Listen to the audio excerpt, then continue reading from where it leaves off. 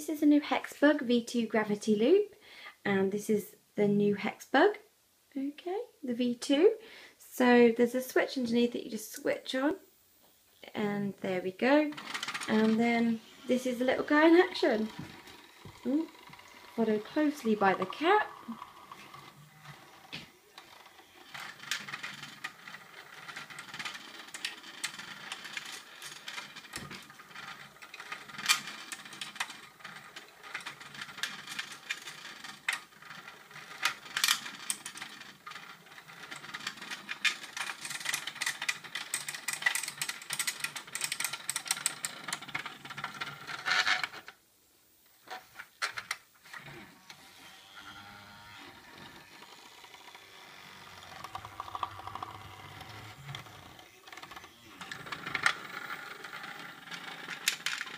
So there we have it, the new V2 Hexbug.